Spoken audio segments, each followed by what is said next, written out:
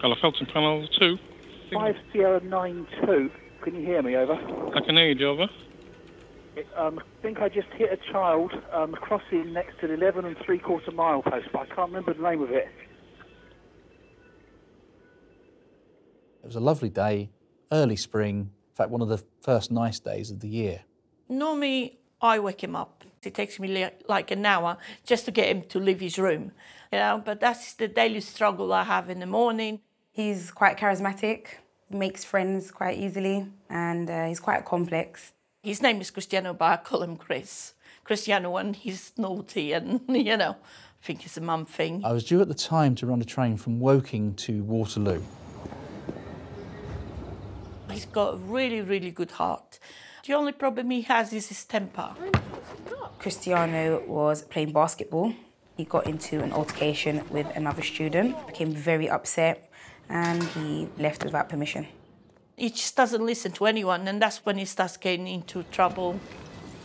Everything was fine. There was a train in front of me, so I was hanging back, keeps the distance between me and him. And without any warning, a child just literally appeared in front of me on the crossing.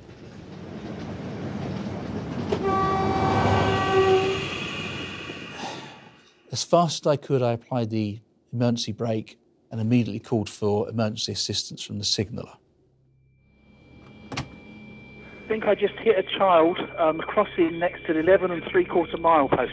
The crossing you've just gone over? He wandered out in front of me with his hands in his pockets, Right. but I think I hit him. Okay. Do you need me to go back and have a look? Over. And in that moment, you're thinking, what's happened? Is the child dead? So I'm sitting there for a couple of minutes waiting for permission to leave the train. And I could start hearing the emergency sirens coming. They came from three different directions. We have the uh, helicopters.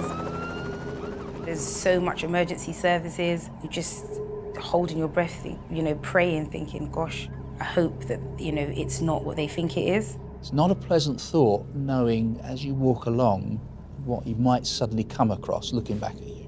When the police called me, I was like, uh, what's going on? Something happened to Chris and they're not telling me.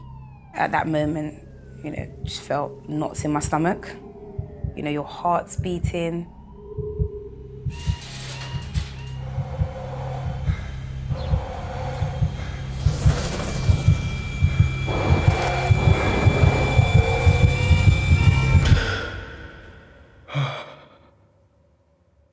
When something like that happens, if you're alive, you cannot move. You're just so shocked, you're frozen, and you feel like you feel like you're not there.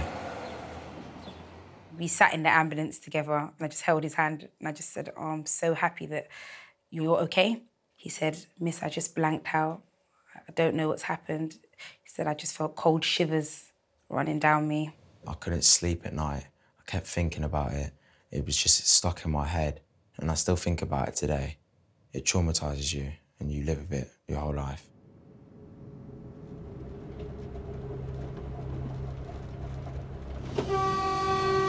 Wow. That was really, really close.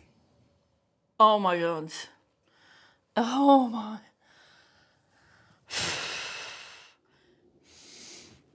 Very lucky boy. Very lucky boy. I feel like he got another chance. Sorry. I don't know what else to say. It does make you realise how quickly something can go wrong.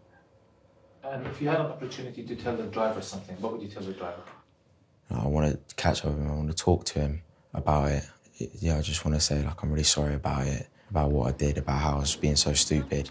I want to get across to him have you learned your lesson?